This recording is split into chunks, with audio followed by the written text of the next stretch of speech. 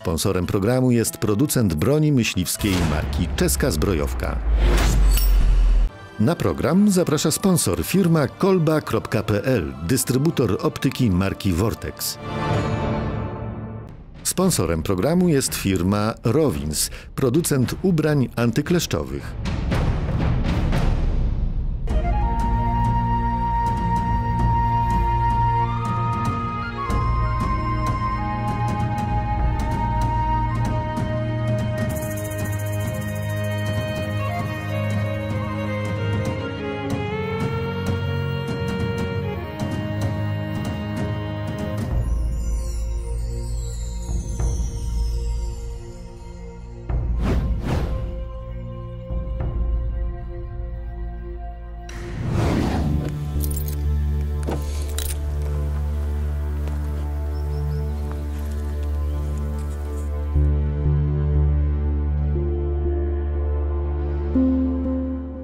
Wschód słońca, paleta zapachów i dźwięków. Uwielbiam o tej porze przebywać na łonie natury. Rozpoczynać w ten sposób dzień. Budzić się razem z przyrodą. Podglądać poranne zwyczaje dzikich zwierząt. Co więcej, jest to bez wątpienia jeden z najbardziej intensywnych momentów w ciągu dnia. Wiele osób pyta mnie po co. Odpowiedź jest prosta. To tak jakby zapytać drapieżnika, po co poluje. Coś mnie wzywa i pociąga w tym nieodkrytym i magicznym świecie.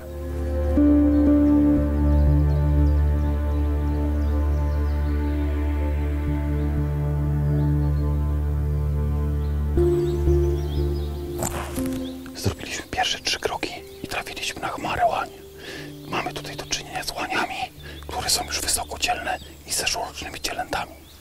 Ciekawostka jest taka, że łanie już są po zmianie sukni, natomiast cielęta jeszcze są w trakcie, bo nikt z nas nie lubi, jak jest nam gorąco latem.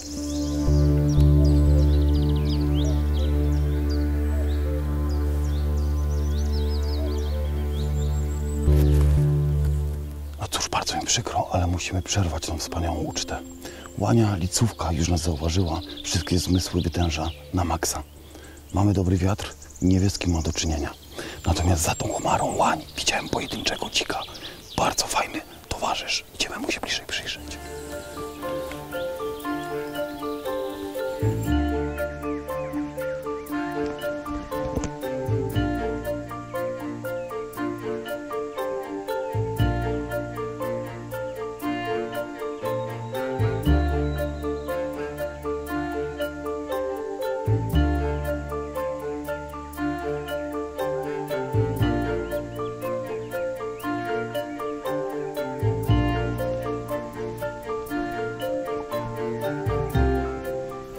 Przenikam świat dzikiej natury. Nie staram się ingerować bardziej niż jest to konieczne. Nie wchodzę w drogę, nie płoszę, nie przeszkadzam. Jestem tutaj gościem i zachowuję się jak na gościa przystało. Łąki i lasy to przecież dom ogromnej ilości stworzeń. Każde z nich potrzebuje dla siebie choćby kawałeczka przestrzeni do życia. Niewielkiego skrawka tego przytłaczającego swoją skalą świata. Dzielmy się i szanujmy potrzeby innych mieszkańców naszej planety.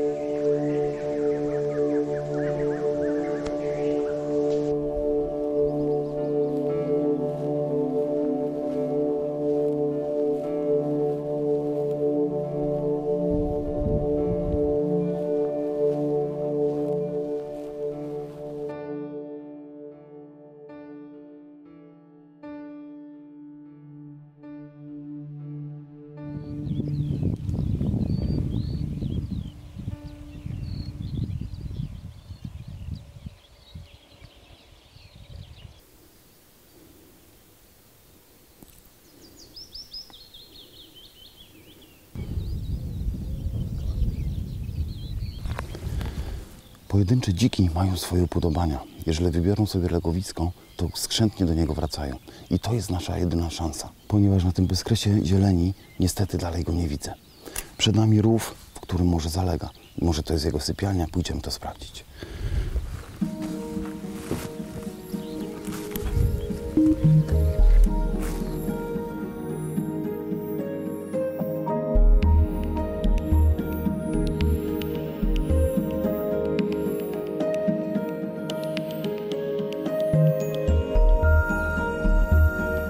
Przed chwilą zobaczyłem człowieka, który wyłonił się z rowu. Może szukał ziół, a może zbierał ziemię do kwiatów, ale jedno jest pewne: na pewno nie poluje na dziki ze szpadlem w ręku.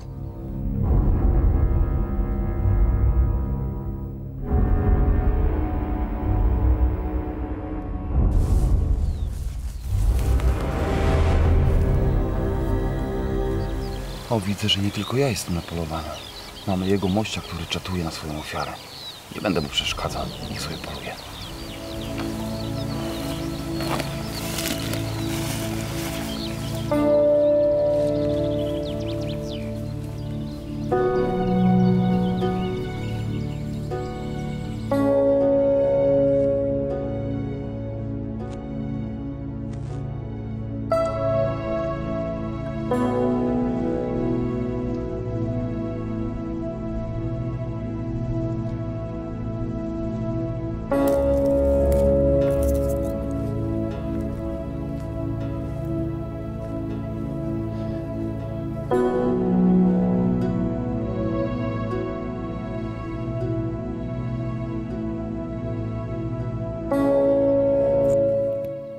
My tutaj sobie gadu-gadu, a rogacz pojawił się znikąd.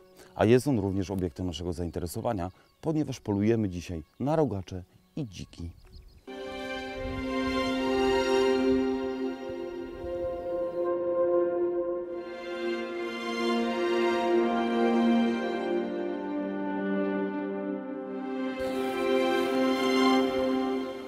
Łąka tętni życiem, nie tylko tym zwierzęcym, ale i roślinnym. Trawy już kwitną, to oznacza jedno: rozpoczynają nowy cykl życia.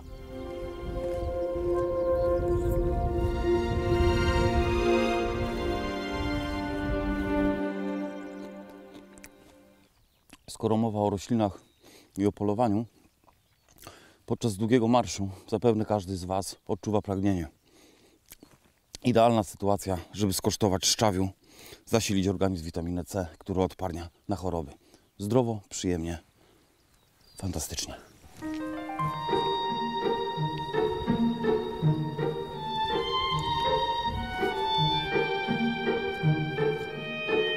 Kiedy następnym razem będę na polowaniu, na pewno tego szczawiu nazbieram dla żony, żeby gotowała nam smacznej, zdrowej zupy. Zupy szczawiowej.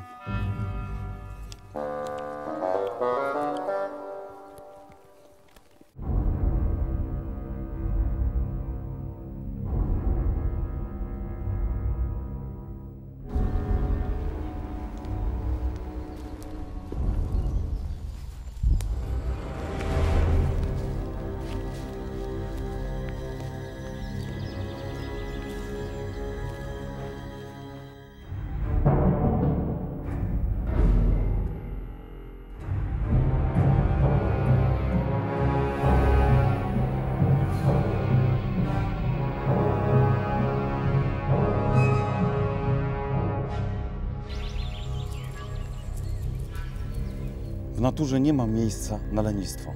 Drzewa również chcą wykorzystać każdą słoneczną chwilę do przedłużenia gatunku.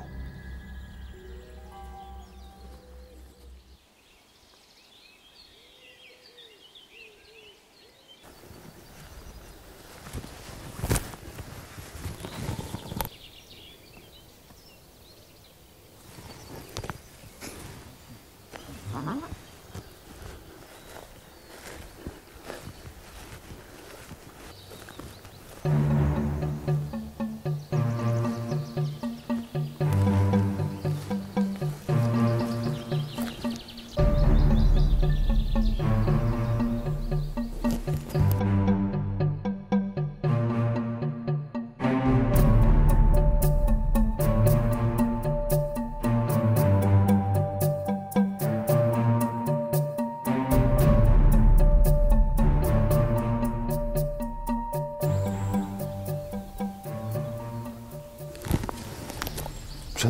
Rogacz, jednak nie jestem zainteresowany łowiecko. Natomiast postawmy sobie wyzwanie. Spróbujmy go podejść jak najbliżej.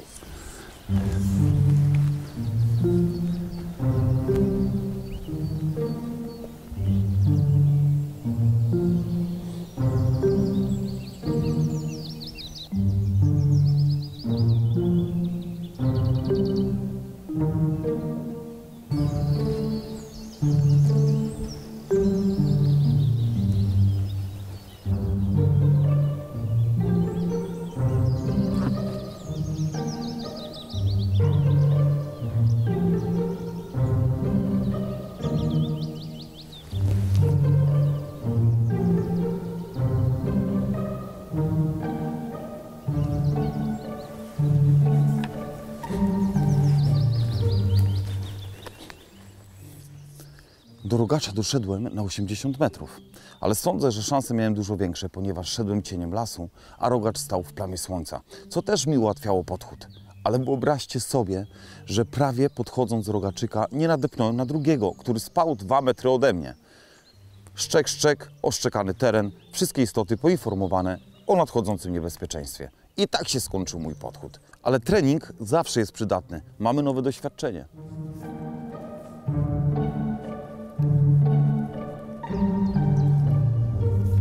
Każdy z nas ma zapisane w głowie pewne obrazki, skojarzenia. I takim obrazkiem chciałbym się z Wami podzielić. Kiedy patrzę na takie kępy młodych brzucek, zawsze gdzieś z tyłu głowy mam wyobrażenie, że znajdę tam przepięknego rogacza. Należałoby to sprawdzić.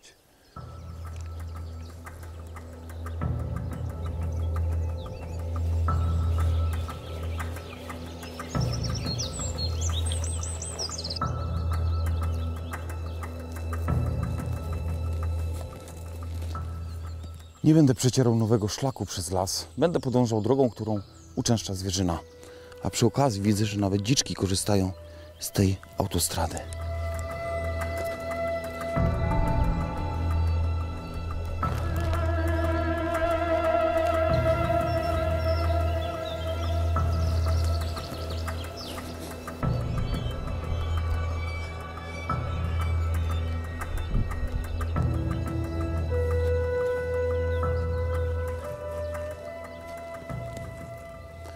Jest następny dowód na to, że zwierzyna tędy podąża. Świeże tropy jeleni. Ale zaraz jeszcze absolutnie zapach dzików czuję. Czyli dziczki też tutaj były.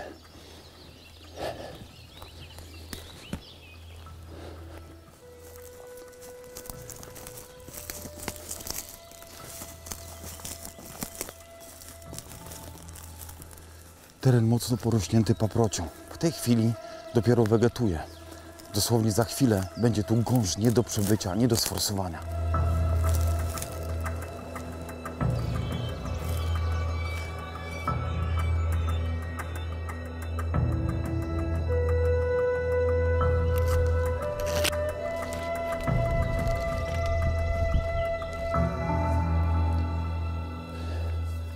Droga, którą utorowały zwierzęta, doprowadziła nas do drogi, którą wytworzył człowiek. Jak widać, te dwa światy, zwierzęcy i ludzki, ścierają się ciągle ze sobą.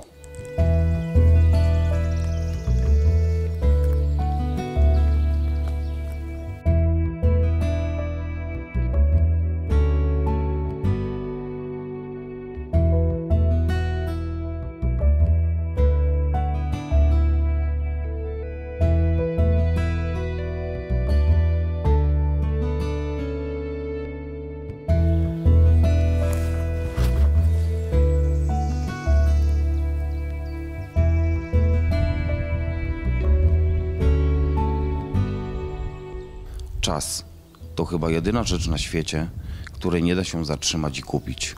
Można próbować ją zaoszczędzić, ale to też tylko półśrodek.